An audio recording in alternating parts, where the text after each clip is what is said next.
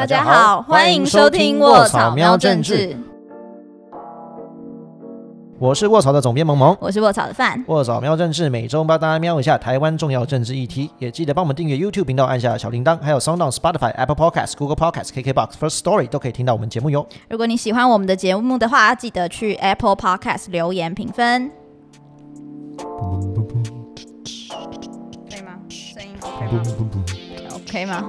？OK 吗？可以啊，我我真的是很怕东东剪下去，就是刚刚个没录到，是不是？哎，某某，你不觉得天气最近转凉了？嗯，你这样说也是有道理，开始穿外套了。我看你穿的好像还蛮像夏天的。没有，这个又没有画面，又看不出来。哦，对，对不对？对啊，你看我有穿外套啊，对。好了，十月嘛，然后我就想说，十月好像有两个。一两个重要、蛮重要的节日可以哦，来这个话题，这个今天的话题一起聊一聊。有两个什么？两个国庆日吗？反正上个礼拜十月一号的时候是中国的国庆日哦，全名是什么？中华人民共和国国庆节。我查到的啦，是这样这样讲。国庆节。然后那一天其实有一个比较大的新闻，就是大家在讨论那个欧阳娜娜。你知道欧阳娜娜是谁吗？欧阳娜娜在口袋里捡到两百块，不是，不是，那个是她的 姐姐。姐姐，欧阳妮妮，妮妮，妮妮，妮妮在她的口袋捡到两百块，那欧阳娜娜在她姐的口袋里捡到两。没有，这是你自己讲的。啊，没有，还没有反正。反正她就是在那个央视的一个国庆的节目上面，就是表演。表演，然后唱了那个。我的祖国，我的祖国，就是说向祖国告白吧。而且我记得他他有就是他受到那个节目邀请之后，还有就是受访嘛，有一连串的一些发言。我现在不是，但范，我记得你有跟我讲，他不是说什么？他发言就是很很怎样，很高兴还是什么？有吗？哦，他说什么？我只知道他后面好像有毕业吧，就是有有出来的。他好像就有收到邀请，然后就就是媒体受访啊，说啊被邀请参加这个活动，他心得。他说哦，我好兴奋，就是能够就是。帮祖国做这些事情。其实我听到这个新闻的时候，其实也不是第一次听他有这样子的身份上的认同。对，所以，但是因为我们等一下继续讲这件事情，后续会怎么样？然后还有另外一个很重要的。台湾的双十节哦，台湾现在有放假的一节，十月十号的双十节。哎，这个就很有趣了，因为你知道跟萌萌相处久了，你就是要练习讲话，避免就是踩到他的尾巴。然后，然后，然后，然后范发现我的尾巴很多很长，这样子。九尾妖狐。对，走路说：“哎呦，哎，我踢到什么东西？感觉是我的尾巴这样。”对，其其实萌萌跟我讲的时候，可能一天到晚那个。毛都一直竖起来，只是你们一直看不到。对，没错。嗯，反正呃，所以我就想说，哎，国庆日，然后我就想，我就想说，哎，那我好像应该要查一下，说台湾国庆日是怎么来？哎，等一下，你看我刚刚又讲错了。哎，为什么我说台湾的国庆日这句话会有问题？嘿，我们到后面好跟大家讲，对，大家要听完那个讲那个。欧阳娜娜，大家多学一点，就会少踩到一些人的尾巴。哇，这政治正确很恐怖。对，好。不过，反正我们节目目的本来就是希望大家都能了解这些尾巴在哪里。对啊，其实就是我觉得也不一定是说真的要那么政治正确了，但确确实就是说，也许在我们了解一些用词的时候，其实哎，它背后其实有些不同的政治含义，大家可以嗯思考一下，你要不要用这样的说法，或是你可以用其他的说法。其实这也蛮有趣，你了解的话，你听别人讲话的时候，你就可以。偷偷观察到他一些在立场上，对对对对，这个在什么时候很有用？搭计程车的时候哦，然后各种司机嘛，对啊，司机啊随口一聊啊，他有些用一些词，就说嗯，这个人应该跟我同样立场还是不一样，就知道要不要接他话了。OK，对，好，来回到欧阳娜娜的话题，娜娜后来怎么了？哦，其其实不只是欧阳娜娜，张韶涵她也有。张韶涵，张韶涵就是那个年轻的朋友还记得张韶涵是谁吗？就是八八年级的应该都知道张韶涵。八十几年次，OK，八 OK OK OK，就是现在大约二十五岁到三十岁左右的左右人，他会知道那一批的一些隐形的翅膀，对。哦，就因为他跟欧阳娜娜跟张韶涵就是一起在中国央视那个他们的国庆特别节目表演嘛，唱那个什么我的祖国嘛，嗯嗯，对，那那个其实我们就在讨论啦，就是那为什么要找这些人，他台湾人或是中华民国国籍的人去？中国央视去表演这个节目。我记得那个范有整理了一些，就是他们的什么 impact，这叫什么影响力的指标。其其实。大家如果有兴趣了解一下为什么它会演变成一个，就是可能在台湾社社会上讨论很度很大的话题，是在那个画面上，就是那个活动画面上，其实一排站出来的是各种族族裔的族裔省份省份的歌歌手，就可能娜娜欧阳娜娜，她可能象征的是。中国台湾不是什么江西哈，江西那哦，中国台湾，可能还有一些新疆的啊，或者是蒙古、内蒙古这样子的一个，它是有一个意涵啦。然后我们就在聊说，为什么挑娜娜，就是这么。呃，中国的艺人这么多，年轻有才华、会唱歌、有影响力的。欧阳娜娜有才华会唱歌吗？我不知道哎。台湾人跟你不要以为你讲的小声就录不到。对对对，抱歉。你知道我就是我，我就是跟萌萌就在吵说，我觉得娜娜算蛮红的，然后他就一直很疑惑，他就说哪有红哪里红？欧阳娜娜代表作是什么？就讲不出来。对啊，就大提琴吧。他姐姐捡到两百块。就这样，那是代表作吗？所以我就我就跟实习生说，那我们到底要怎么去定义一个人红不红这件事？所以我们就很很肤浅的去找了他们的社群流量。OK，好。然后就某某还跟我说可以用买的，也不相信。很惊人，很惊人。来来，娜娜。好，我觉得我们可以认同林志玲很红吧？这个我们有在公示，对不对？林志玲，林志玲。对，那我所以我就用林志玲当成一个标准，好不好？好，我们我先看 IG。因为 I G 是台湾人蛮多人在用，就艺人好像比较对对对这几年，对，所以我就看流量，哎，林志玲 I G 就是一百万追踪，一百万发了百万发了的网红。但你知道娜娜多少吗？娜娜，娜娜是她的三倍，三倍，三百万。欧阳娜娜有三百万的 I G follower。但也有可能，我们也有在聊说，有可能是因为他都是年轻、更年轻的、年轻的发会比较使用 IG，对，会比较使用 IG。中国不是不能使用 IG 吗？可恶！但他们可以那个啊，他们可以 VPN 翻墙，翻墙去发到那。所以好，我们就把 IG 当成一个台湾的知名度的标准，好不好？虽然这个应该会被人家三倍红，对，用 IG 东西好。虽然不知道这个会被骂，应该会被骂。可是反正我们就是，我们也找不到一个标准，所以我们就先用这个。还有在中国，对，我们就看微博。嗯，最好笑的就是因为我们都没有在用微博，所以我们还在那边研究说到底要怎么看。对，一直在研究。好，志玲姐姐多少？志玲姐姐是一千九百万。OK，一千九百万，Nice，Nice。但是你知道娜娜是多少吗？娜娜。三百不是两千万，那那微博两千万，就是有一整个台湾的人口在 follow，在中国。所以你这下你可以认同娜娜其实还蛮红的吧？她在中国红吧？她在台湾红吗？好问题。好，反正我们回到我们的题目上来看，呃，我自己啦，我自己这样看起来，我觉得他呃，中国呃，央视为什么选娜娜是一？我觉得是他自他在中国这个。至少这个领域中的影响力，对年轻人也好，或是知名度，或是其实你在很多中国的综艺节目上面，其实你也可以看到娜娜的声音哦。所以她有这样子影响力，再加上她是台湾人，OK，就是有这种加成的感觉。对，就是大家就说两千万的微博发我的中国人都知道，都会看到一个来自中国台湾的年轻女孩，然后在节目中。表达他的才，表现他的才艺，还上这个节目去歌唱我的祖国，就他有这个台湾人的身份，有这个，而且是中国台湾的身份。然后另外一部分就是会看这个节目的人，嗯，都是。中国人为主，主要就是他们中国人自己。所以之前萌萌有教大家一个字叫“维稳”，就是维持稳定。嗯，就是它其实主要还是针对所谓中国的 TA，就是是做给他们看的。OK，所以就是你刚刚讲那个画面嘛，中国人在看电视，看到一排说：“哇，你看这些少数民族啊，蒙古人啊，也许维吾尔人啊。”啊，中国台湾人呐，好棒哦！在四海升平，都来我们这个祖国央视的节目，一起歌唱歌颂我们的祖国多么的伟大，就会有一种说，对啊，你看我们多强，嗯，啊，这些人在那边搞乱什么的，乱七八糟的，在什么香港啊，在台湾啊，境外势力在那边欺负我们，就可以达到那个宣传效果，维稳维持他们国内的这种稳定。所以要问萌萌，其实这是不是也算是一种大外宣？嗯，我我自己觉得这个东西，就是我们之前常讲，就是其实这些宣传目的的。第一优先都是真的对内维稳，对。然后如果他同时达到了外宣效果，那就是探掉啊，赚到。赚到。对对，就是如果有台湾人看了这个中国央视的什么节目，然后之后觉得也被感感染到，说哇，我的祖国真的太棒了。OK，good for you，就是好，你赚到了。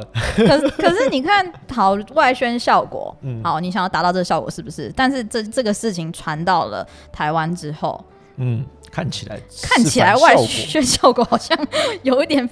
对啊，反效果，所以他的目的就还是啊，内部维稳为主。他为了要维持内部的稳定，甚至是说他宁愿牺牲他在外面的形象。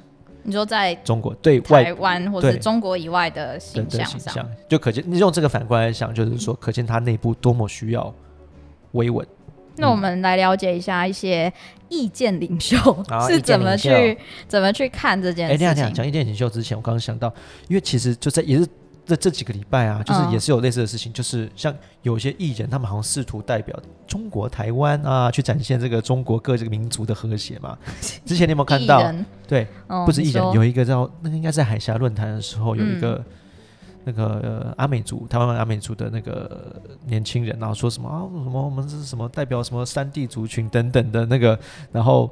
什么觉得中国祖国很棒啊？什么等等？你们是不是？你是不是？我有看，然后我还拿给我男朋友看，因为我男朋友也是原住民，就是阿美族。就是其实我我也是只能这这个言论也是只能代表我男朋友作为阿美族的个人立场。对，就是一个人，你今天在呃中国去发展，然后你在发表言论上，其实无论你讲什么，你只能代表你自己。嗯，就是作为你这个主体性，你所自我认同。欧阳娜娜作为她个人的一个自我认同，你不能去外面说啊，我代表着台湾的原住民，怎么样？山地同胞。对，然后他其实那个呃原住民委员会的主委，主委他其实也有出来说，其实他发表这个言论是不太适当的。嗯，我自己的联联想，其实我觉得这个跟欧阳娜娜那个合起来，我的理解啦，我不要希望娜娜粉不要来。出征我，那那粉应该不会听我们节目吧？还是他看到我们标题会进他们在微博有两千万人，然后两千万人开 VPN 进攻，很恐怖哦。我们的触及会 会会暴增。没有，就是因为像这个这个以这个阿美族的朋友为例好了，他他后来就发现，他说他其实他做生意啊，都在都在中国啊，都在对岸。那意思说，其实他在台湾也没什么。没什么生意，或是没什，或是没有没有什么成，我们讲成就好了。那一样欧阳娜娜，我们可以提到说，哎，她好像虽然 follow 很多，好像大家都知道她，但是其实大家好像也都提不得说，哎，说欧阳娜娜到底有什么代表作？好像对啊，不知道，好像不知道还有到底有什么代表作。那我自己联想到就是说，其实像这这样的人，他反而是因为他有台湾人这样的身份，嗯，所以他会在中国得到一些所谓的红利。哦，对，因为加值的作用，加值。这个好像我怕讲一些地域梗，什么 什么加分，原住民加分，不要，不 行不行，讲出来了，好危险。喂，不要不要讲这个。对，就是，但是因为他是台湾人，所以中国官方会给他更多的机会，让他去当样板，就说你看我们中国台湾的这个张张韶涵啊、欧阳娜娜来我们表演啊，这个来自中国台湾正当。架杠给台湾党是原住民也来中国说自己是什么炎黄子孙的？是啊，有些评论也是说，如果今天欧阳娜娜不是台湾人的身份，或许他们会找一个更对啊不一样的。你说欧阳娜娜，我不知道她的才艺是什么？她她不是表演拉什么大提琴在？她是拉大提琴，对，很蛮有名的吗？还是只是演艺圈中比较会拉大提琴？我不确定啦。其实说实在，作品我我我也是对演艺圈。稍微比较不了解，没关系，我们不要管欧阳娜娜了。对对对，其实我们其实其实呃，我觉得延续一个讨论好了。像我记得那个黄立成还是黄立行，马吉大哥，马吉大哥，他其实也有 po 文，然后觉得说，我们不要再为难，就是艺人这样子的一个声音呢？嗯，可是我我自己觉得这个讨论起来不一定只是针对说欧阳娜娜在讲这句话。呃，做这件事情，而是说中中国大中国他们用这样子的方式去吃台湾人豆腐，其实是更需要被检讨的。OK，嗯，他们为什么不断做这些事情？对对对，因为其实很多，你不觉得很多艺人其实他们就是这几年来一直要被强迫去讲这些事，被强迫表态，被强迫表态。对，无论这是不是出于他们的自由意志，但是只要中国政府看到你做这件事情。然后你就他就爽。对，像之前有几个比较著名的的例子，就是，呃，应该是二零一八年，我记得的话，在金马奖的时候，因为在颁奖的时候有一个人得奖，一个纪录片得奖，那个那个跟中国啊、台湾认同那种议题比较有关，所以他在颁奖感言的时候，我的青春在台湾的那个富余导对导演，因为他发表的时候讲了一些有点像是跟国族认同有关的题目，所以在场因为金马奖其实算是整个我们讲东亚或是我们讲如果用华语电影界的大奖嘛，所以很多人中国人来参加，哇！就在那个瞬间，超多人，超多那天有参加金马奖的台下中国人，他们在中国的微博开始全部发。很快就发文发，就类似那种什么啊，什么祖国的强大一个都不能少啊，这个台湾是我们的一部分，马上发，为什么不行？我不发不行，我不发，我在这台下。他们经纪人就聊聊起来。当然，你可以看到说，那个你觉得那些是他们在台下自己发文嘛？也不一定，他们的经纪公司，他们的什么这些团队要赶快帮他发，不然他们回去会被修理啊。嗯，那你说在那样的国家有没有不发这种表态言论的自由呢？嗯，这个就很游走在法律边缘呢。而且讲到这个监督，我就想到最近有一个又是一个新闻啦，就是有人讲那个有些大学在签一中承诺书。哦，对对对对对，好。那什么是一中承诺书？梦梦解释好了，我怕我讲不清楚。其实就是 中国的学生，如果嗯，但现在疫情比较少了。但中国学生如果之前要来台湾，然后跟一些学校啊、大学啊，比如合作啊、交换学生啊、留学等等的，有些学校会跟他们签一些合作计划，是写说，就是我们不会谈一些就敏感议题啊、敏感的政治议题啊，保障、保证这件事。对对，他们才要来这样。就吐槽，就像我们实习生读政治系的嘛，所以就说这样，你们来读政治系，但是我们不要谈政治，太敏感，直接是这样吗？对啊，不然不谈这个谈什么？对啊，所以。很多的情况是变成说，我们可以好某些程度，我自己啊也可以理解说，有些艺人他可能要在中国发展，为了要赚钱，他可能要低头，嗯，那是为了去中国赚钱嘛。但是这种言论自由的局限制，其实会被逆推回来的。就像我刚刚讲的，你变成说在台湾，台湾人自己人，你甚至在台湾，比如参加金马奖，你可能都要因为。甚至不是你自己，但是因为活动过程中有人发了一些言论，发表一些言论，嗯，可能有点敏感的，你要表达立场，对，你就要表达说你没有不表达立场的自由，你必须要，你知道吗？就是这不是言论自由的范畴，是你没有不表达对中国有利立场的的的的的另外一方的自由。因为我听你也分享说，有一些中国的学生来台湾做呃交流的时候，其实会有一个对对监督员，其实有点像。我们这个台湾的朋友，就是我们以前也有过这样的时光，就是会有职业学生，就是比如说有一群有一群这个中国学生落在台湾的话，他们其实这里来台湾都会有一些小团体嘛，嗯，他彼此其他会有一些职业学生做什么呢？去监督这些你们来台湾之后啊，你们有没有参加一些过激的活动啊？就这样一些集会游行啊，去听一些不该听的讲座啊，读一些不该读的书啊，这会有记录，会被会被回报的。像我之前有知道的一个现象，是我以前。呃，念书的系所啊，他们曾有一阵有办一些叫做那种也是两岸三地的研讨会、交流会。那那种研讨会，我不知道大家以前不知道有没有印象，就是有些研讨会会让学生写一些学术的壁报、poster、海报这种。嗯嗯嗯。那其中有个学生呢，有个学弟吧，然后那个他有写的，因为呃，跟总是跟一个台湾国族认同有关的一个题目，里面有个 poster，就是会贴在会场。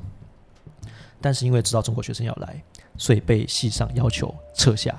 哦，对，不能放，对，不能放。为什么这样？哎呀，太敏感了。你这样，但但他们经过这看这个怎么办？很尴尬啊，对不对？这样他们来的人学生也困扰，他们带的老师，这样造成大家的麻烦。不要，不要，不要，不要，就被撤下来了。所以，并不是说我们有些学术论文想要去对岸发表，被挡下来，好，这样就算了。他不能接受，是我们在自己的国家，我们在自己的土地上，我们就还要考量。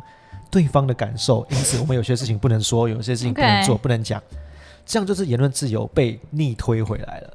而且大家不要以为这只是什么私校啊，或是一些比较小的大学才会发生的状况。其实有一些这么快要占学校？没有啦，我只是指说各种就算是知名的名校也会有这种情形。是其实不分校偷偷透露，比如说我之前读什么学校？没有没有没有没有，就是就是这种这情况不是只发生在小众可能是什么台青教什么都有可能有。像其实一个公开的资讯啊，像呃二零一七年那时候就是这个一中承诺书的事情有爆出来，然后就是有看到清大的。对啊，学校有签这一份书，然后有被清大学校呃教育部保证实啊。对啊，对啊，这是公开的资讯。对，所以就是言论自由的逆袭是一种，就是我这是一种很恐怖啊，就是你以为只有去了中国才有些话不能讲，没有，你在台湾自己家里，你也会逼的被有些话不能讲。所以。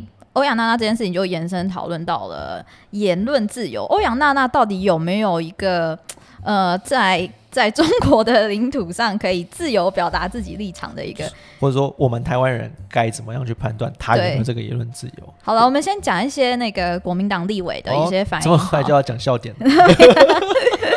没有啊，就是就是，我觉得这事情发生有时候大家就是会观察一下，呃，一些意见领袖是怎么说的。像陈玉珍嘛，他就说 意见领袖对，某种形式的意见领袖，他就说他就直接讲说言论自由跟表演自由是一种基本人权。嗯，他就对。另一位另一位立委费鸿泰也是说，难道唱个歌就台湾就会被统一了吗？有这么严重吗？对，那萌萌呢？你有什么什么想回应的？我我我自己啦，我自己还是会。觉觉得就是说，就是我个人会觉得他们这些艺人去赚钱，好啦，你低头难免就算了，没关系。汪娜娜不不是，你看大家可以搜寻报报新闻，他听说赚很多钱。如果有这么多钱，我想很难，很多人很难不低头。但是呢，中国国民党的政治人物实在真的很没有资格讲这句话。为什么？因为他去去参加那个中国的国庆的活动嘛。所谓中国的国庆，在一九四九年十月一号，中国中华人民共和国建国的国庆是要庆祝什么呢？不就是要庆祝中国国民党在这个中国，我们或者所谓的中国大陆地区被打败、被沦陷、被赶到台湾来嘛？中国国民党的政治人物真的有脸去跟大家说：“啊，没关系啊，你去庆，大家来庆祝我们被打败很好了，来去对岸 庆祝一下。”他们说真话不会觉得很很对不起自己，或是以他们如果说捍卫中华民国好了。他们去庆祝一个打败中华民国的庆典，支持这样的事情，或者说不反对这样的事情，我自己是觉得实在是蛮蛮悲哀的。其实你不讲，我还真的没有仔细去想过中国国庆的由来。对啊，连接不起来。对，有一点连接不起来。但我就好问听众，你有多你你在听我们讲这一段之前，你知道中国国庆的由来是什么吗？留言告诉我们哦。对吧？看这是这样，大家不会知道啊！可恶，可恶！好，完了你就跟你讲，你同温层太厚了。可恶，可恶！好，对对对啊！所以就是中国国民党的政治人物讲这样的言论，其实特别的讽刺啊，特别讽刺。嗯。那还有吗？你还有听到什么？哦哦，对，还有另外一个，他另呃还有另外一个中国国民党立委叫做李桂明，他碰到这个事情的时候，他又举了一个例子，他说：“诶，那个什么阿妹张惠妹在两千年的时候在台湾好久以前哦，中华民国在陈水扁的就职典礼唱中华民国国歌，就被封杀，被中国封杀。他用这个来来。”比喻就是说，有点像比喻，就是说啊，我们不能就是这件事情，你知道大到连嗯，当年可能只有七岁的我都还有印象哎。对啊你在不经意透露年龄？没有，因为我觉得我觉得很很很难呃记忆记忆特别深刻，因为他那个新闻大到就是可能爸妈的那个新闻的头条都要转到那一台，所以我我对你你讲这件事情的时候，我其实是超有印象的。对，那我所以我觉得这个东西一样，就是一种言论自由的被逆袭、被逆推回来。呃，原本的讨论是说，你看啊，原本讨论是中华民国或者说台湾人的欧阳娜娜去中国宣扬中国的什么我的祖国这些事情有没有问题？但是中国国民党的政治人物来比喻就说，哎，啊台湾人在台湾在或者在中华民国唱中华民国国歌被抵制，被对岸抵制，嗯，拿这种的类比，就是说，好像对比说我们台湾人在台湾这块土地上也要接受，就是。接受言论审查是对的，嗯，对啊，所以就是 我不知道，我觉得中国国民党的政治人物真的是蛮幽默的。哦，我们就交给就是广大的听众跟国民来来判断。嗯，可是我觉得这件事情，大家一定很常听到，就是去中国发展的艺人去发表一些自己国族认同的讨论。但对我来讲，我觉得这次还有一个比较特别的原因，是因为大家在讲到底要不要开罚哦，要不要罚他们？对，因为诶，之前什么好几个艺人，他们讲自己的声明，好像都没有听到说要开发，什么周子瑜啊，或者说还有谁啊？嗯，有？哎呀，讲不出来了。哎，黄安好，至少黄安有人在吵要不要鉴宝，要不要拔掉问？但是这次是突然有多了一个台湾地区与大陆地区人民关系条例法的一个，对，有人提到一个相关条文，那个是两人民关系条例三十三条之一了。它其实里面提到一个点，就是说。就台湾的人民啊，或是就是一般的人，台湾人，还有就是什么法人团体，就是公司啊，或是民间团体啊，你没有经过政府的许可的话，你不能够跟中国的一些什么党务啊、军事啊、行政啊、政治机关啊做一些就是合作行为，或是一些政治合作行为。那这个时候就可不可以罚？如果他真的有被判定是这样的行为的话，他其实某些是可以罚的。但这就要回过来去判断说，哎，那我们定义一下，对，到底去唱央视的这个《我的祖国》算不算是这种归官方的合作行为？对，范，你觉得要罚吗？啊。这样你会让我觉得，因为因为因为中国他办的任何大型的节目，呃，综艺节目，或是呃跨年晚会，或是各种晚会，它其实都会蕴含一些他们自己要宣传的一些祖国价值那些。那你如果这样子就定义好广义，这样子就是一个政治行为的话，那那些蔡依林。啊，周杰伦，嗯，什么一些大的艺人，林俊杰、田馥甄，是不是全部都要罚？我对，所以我自己觉得是很尴尬，就是说，大家虽然看的不爽，但是这一条如果真的用下去哈，我觉得那个线很难画。嗯，就是你一杀，就是要杀到所有人，所有人。对，而且这个我会有，我自己觉得也会有一个很在政治处理上会很麻烦，就是你反而会被。要被让艺人被要求强迫表态，比如说，你看，如果我是中国，嗯嗯嗯，好，你现在罚欧阳娜娜是不是？我就故意叫周杰伦你也来，我就看你台湾罚不罚，对不对？哦，蔡依林你来，我看你台湾罚不罚？哎，我还没想过这个方式。那如果如果台湾不罚，你就被黄被看衰小嘛，就说啊，所以你看嘛，差别待遇嘛，你就是你没有标准哇，你不是说你法治国家，那你 A 罚你 B 不罚，有什么道理？所以，变等于是那个东西如果线画的很明确，反而会让。中国有操作分裂台湾的空间，你可以想，如果这个什么周杰伦在欧阳娜娜被罚，可能大家嘿嘿嘿，他活该，我反跟他不熟。嗯，但如果周杰伦在你被罚，哦，这可能会有点这个政治不稳定的 局势，对吗？所以，我我我自己在理解说，可以谴责啦。我有听到，我我分享几个我听到认觉得要罚的观点。好了，一个认一个观点是说，呃，罚的意义是政府的公公信力嘛，就是说去。呃，不不认认为这件事情是不适任的，是给台湾人民的一个一个意义。对，就是说，我觉得这是不好的行为哦。你做的话，你就要被罚。嗯，那我们我们有相关的法律可以这样解释。对对对，尽管那个罚金可能对于欧阳娜娜，或是对于在中国大陆发展的艺人，对不起，我不能讲大陆，这是我 在这个脉络对这这这个脉络下，我们改天再解释为什么不能讲大陆好了。在中国去发展的艺人来讲。呃，好像可能也没差。对啊，口袋就捡两百块，不是那他姐口袋捡到两百块人民币。所以，可是，可是对于我，就是我另外一个同事跟我分享的论述，他觉得是政府做这件事情，就有点像是开罚，嗯，就是呃不行做这样，跟你讲不行做，跟其他人讲说这样做是不对的行为。嗯，然后我听到另外一个论点是说，呃，今天台湾其实是很有自觉的，就是很有自觉知道做这件事情是。不好的，OK，或是是不太适当的，是会被谴责的。那在这个在这个社会氛围下，不罚没什么关系。OK，大家如果都知道这是错的，那我不用特别去罚，大家都知道这是错的。对。然而，然而，如果大家都说不会啊，我觉得就是一个小女孩啊，然后在一个大的国家发扬光 很棒啊，什么什么就哇，那个国防部的那个警报就哦一同一的，那可能真的就是要罚罚出来了。OK，就是 somehow 某些程度我们。政府或是就是，如果台湾人民的这个社会氛围已经知道这个是错行为是错的，好，那我们也许不用处罚，因为社整个社会自然会去处罚他。但是如果万一我们现在社会氛围是是那种就是哎也不会不行啦，还不错啦，哈，没关系啦，没有去谴责这样的行为的话，那政府就必须站出来，有点像是说宣誓说不行，这个是错的，我们必须要开发，跟就是跟大家讲说这个不是我们国人应该做的事情，要建立那个制度。因为我我自己就会回想说，这么就是中国国庆也这么多年了，难道没有任何一位台湾的艺人曾经在台上就是唱过歌吗？什么小虎队啊，那些吴奇隆啊？哦，你竟然知道小虎队？就是他们年轻的朋友知道小虎队吗？没 有知道的请留言。哎，不重要。Anyway，就是说他们可能也有唱过啊，可是当然是时局是不太一样。对啊，对啊，就是如果我觉得那个东西当然也差异很大，大家反应会那么大，也是因为这样的原因。就是在一个，就其实像两二零一九年之后，像是习近平提出来所谓的一国两制台湾方案，就是摆明要跟你推说台湾就是要跟香港一样推动一国两制。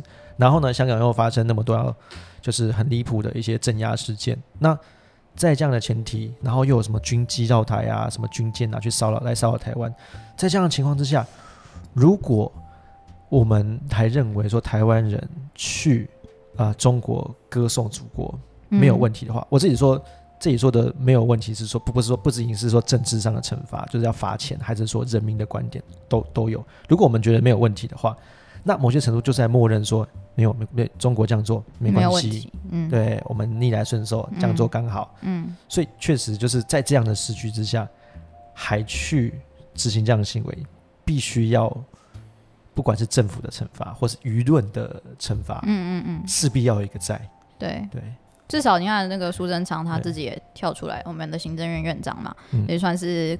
地就是有一个代表性的声音出来，然后各各界民间的声音在台湾内部的讨论。台湾这个也算台湾的维稳吗？可以这样讲吗？我我觉得比较像，这有点像，这说法叫防卫性民主。防卫，就像我的观，我的观点就有点说说，政府不一定要罚，但是民间要干爆，骂爆他，呛爆他，让大家都知道说不行，这是错的行为。这是对，至少让我们自己的台湾人知道说这件事情是不是很理想，对，就是不要这样子做。嗯嗯，好。这个回这个我们十一国庆讲完了，接下来还有另外一个国庆，就是哎，这个啊，我我想一下我的用字，我想一下我的用字。哦，对，这个十月十日，为什么我一开始讲台湾国庆会被 diss 呢？因为请问大想要知道，就是无论你是不是麻瓜啦，你有想过我们的这个双十节的这个国庆的国？到底指的是哪一个国吗？双十节要庆祝什么？喂，我不太，对，我不知道现在的就是比较年轻，我相信比较念那种国国立殡仪馆教科书的人，应该都知道什么双十节，十月十日武昌起义啊，什么这些事情。但是好，比如说武昌起义是由来好了，武昌在哪里？哎，武昌在哪？在哪一个？在哪个地方？I don't know。在哪一个省份？不知道，实习生救我。好了，怎么讲？可恶！好了。武昌其实就在那个武汉肺炎爆发武汉旁边啊，武汉、武昌跟汉口，OK，对，这真的是一个好。对不起，我们讲远，对，所以武昌是发武昌其实这个事件其实发生在对岸，那在台湾当然就是变成什么武昌街啊，有这些地名，嗯，但是当时一九一一年所谓发生武昌起义的时候，那现在我们台湾这个土地上发生什么事情？那时候台湾在日本统治的时代啊，那个时候就是哈哦，对啊，对啊，有人在抗争起义哦，good for you，就是祝福这样，就是跟我们现在在居住的这块土地其实是没有，嗯哼，没有关系的，嗯嗯，对，那只是后来这个所谓的中华民国政府移到台湾来，然后好像哦，对，我们在回溯去说啊，对呀，你看我们要庆祝武昌起义啊，哇，这个，所以。台湾对于台湾人而言，到底这个所谓的双十节是不是我们的国庆呢？嗯嗯嗯嗯，全快买，迷之笑容，你全快买，全快买，对。所以我们在讲这个时候，我们就来看了一下，说，哎，蔡英文他去年在国国庆日上面是怎么。讲这个节日，对，因为他有没有踩到雷？我在我我必须说，他们现在都很会，很很聪明，因为他被你们训练到，就是 已经很有自觉，最政治正确，就是不管哪一方听，就是嗯好，就是他游走在两方都可以安抚的很好的。所以，我我们看，所以我觉得就今年的时候，大家也可以听听看他的一些用词。那我先讲一下去年有几个用词。好，他提到说，今天是中华民国一百零八年的国庆日。好，这个是事实。对他主持是中华民国的。的国庆日，对，OK，真的是 OK，很好。然后，但是要提到说啊，这一天是属于两千三百万人民的日子，两千三百万人就是台湾台澎金马人，对对，没有十四亿同胞，没有其他华侨，对，没错。然后他其中又有一段讲讲到说，中华民国已经在台湾屹立超过七十年，OK，为什么？哎，我们国庆是几年呢？是？一百零九年。好，为什么他去就算去年一百零八年三十年，他为什么是说超超过七十年？为什么不是讲一百零八年？为什么？七十年的，就是去年的七十年前，就七十一年前是一九四九年。嗯，那一九四九年什么呢？就是中共建国那一年，哦，中华民国政府整个被赶到台湾来的时候。哦，所以他有点想强调，就是说，那个是一个新的中华民国的样的的长相。那个时候开始，中华民国就只有在台湾了。对，所以这个东西要带到什么？带到，好，后面我们会讲，就是中华民国台湾六个字。绝对不是蓝色，也不会是绿色，是整个台湾社会最大的共识，对吧？就你知道，就他那个都是很就可以。我觉得他背后智囊团应该花了一整年在写这个。这边讲完，最近开始准备今年。对对对，今年要讲什么？对，所以你可以理解到，就是那个东西背后的写其实是有意识，就是中华民国是一件事情，台湾是一件事情，甚至中华民国台湾又是另外一件事情。对，所以。明天，明天，哎，我们播出时间是什么时候？对，反正总之十月十日。对，我们十月八号播出。对，所以刚好隔两天，大家有兴趣的话，也可以去听听看，说蔡英文他是怎么在国庆日上面去发表他的论述。对，都到底中到底会不会讲中华民国呢？还是都会讲中华民国台湾呢？他是用比如说一零九年强调这个事情，还是会强调说，哎，中华民国在台湾七十多年来，对，这其实就是一种。很隐性、幽微的政治表态，但是有从有概念的，一听就知道说啊，他现在讲什么？对，因为我的理解是国庆日应该是所谓建国纪念日吧，就是建立了什么国？这个国家的 也我们认同的那个国家的那个的认同，所以或许台湾独立的那一天。那我们就可以换个日期，对，换哪一天比较好？十月份的假好像比较多，换一个几月好？然后跟春节一起过嘛？哎，并到那边一起过，好，明年四月看看。好，那我们今天诶，其实我们之前有做过一个也是小游戏啊，是让大家体验一下，就是中华民国的一些法律的一些荒谬，我们会附在下面，大家可以没有事没事去玩玩看。这个这个小游戏你也可以直接在脸书上，而不是脸书各搜寻平台上搜寻中华民国人小游小测验。对对，就是这个中华民国人小测验，嗯，应该萌萌取的吧？没有不行吧？对啊，又不是中华民国小人测验，还好啦，可以啦。哎，你最后不是说想要讲一下川普？哎，对，你知道上礼拜就是上礼拜年假嘛，然后年假其实还是会看新闻，嗯，因为想说这礼拜就要讲什么，就是川普确诊，然后我想说川普确诊好像不是我们守备范围，啊，对啊，没错，但是因为大家都很关心，而且因为川普确诊。因为那时候之前有辩论会嘛，川普跟另外一个候选人拜登辩论会之外，马上说啊什么很多争议，但是马上接着川普又确诊，然后川普确诊没多久，我也不知道他真的假，他又说什么他什么很强，他已经什么打败这个 什么中国病毒还是什么之类的。哎，你知道他有他的白宫有出那个纪念币吗？就是 就是说川普抗抗那叫什么抗疫成功的纪念币？纪念币。Come on，OK，好，祝福他。怎么样多少钱？哦，一百二十五块美金。好。好，请点我们的链接，可以折五块。没有，没有，不要点。没有，好像已经卖完了。好，对，但是我觉得这个东西其实很有趣啊，因为不管是接下来的美国要十一月初开始总统大选嘛，那不管是谁选得上，川普或是拜登，或是到时候什么选举会不会有效，会不会取消？其实对于不管是台湾，甚至整个亚洲，或是世界的局势，都会有很大的影响。嗯，所以我们目前在规划，我们会再请到这个长行、长期涉猎美国政治，还有就是台湾和美国国际关系的美国台湾观测站的朋友，我们会在美国大选前早一天来跟他们聊聊，到底这些美国的选举啊，会对台湾啊，整个台湾在国际局局势扮演的角色会造成什么影响，会请他们再跟我们分享。嗯，还蛮期待的。嗯，对，所以要继续锁定我们的这个 podcast，按下订阅。好，那我们今天聊到的相关文章链接都会放在我们的资讯栏里面，然后记得订阅我们的卧槽脸书、IG，还有 YouTube 频道以及各大 podcast 平台。你看我现在都懒得讲那一串，因为实在太长。为什么？为什么就前面我我讲，真不用讲？换下次换我讲嘛。好，YouTube 开启小铃铛，然后还要再提醒大家，我们有。自己的 Instagram，奥利奥利，对我们卧槽 Podcast Podcast 的 Instagram 要搜寻什么呢？就是卧槽苗政治。How to spell？你就打 Watch Out。点 podcast 就可以了，就可以搜寻到。这个好像比较简单，真的。中文大家比较常打错。Watch out dot podcast。你打卧槽那一排，就是应该都是我们。好，对对，然后全部订阅起来，对，全部订阅起来，然后可以看到我们两个长什么样子。